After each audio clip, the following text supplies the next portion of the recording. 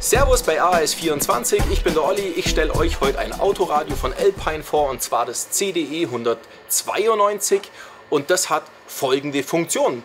Grundsätzlich hat das Gerät 4x50 Watt Grundausgangsleistung, damit ich vier Bordlautsprecher einfach mal so anschließen kann. Ausgestattet ist dieses Modell sogar mit drei Cinch-Ausgängen, einen für Front, einen für Rear und nochmal einen separat regelbaren Subwoofer-Ausgang, bei dem man sogar aktive Frequenzweichen aktivieren kann, um eben Bass und Hochton entsprechend auszubalancieren. Einen Dreiband-Equalizer mit 10 voreingestellten Soundeinstellungen, einen Front-USB-Anschluss und einen AUX-In. Ausgestattet ist das Gerät mit sieben verschiedenen Menüsprachen, unter anderem natürlich auch Deutsch.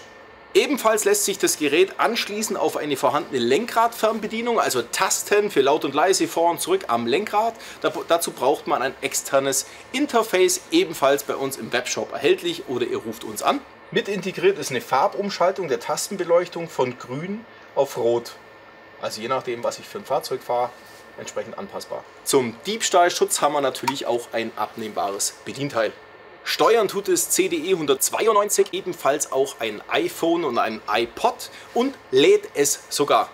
Ein super Autoradio zum Einsteigen in den KHFI-Bereich oder es danach vielleicht auch nicht mehr zu erweitern. Das ist egal, wir haben ja eine super Basis, einen super Klang, super Qualität von Alpine. Wir können mit den drei Cinch-Ausgängen auch eine Anlage erweitern mit Front und Rear oder eben Sub-Bereich. Wir sind da ziemlich frei. Äh, somit würde ich mal sagen, optimal zum Einsteigen. Viel Spaß damit. Bis dann. ARS24, dein Autoradiosshop an der A7 Abfahrt Memmingen Süd. Im Netz unter ars24.com.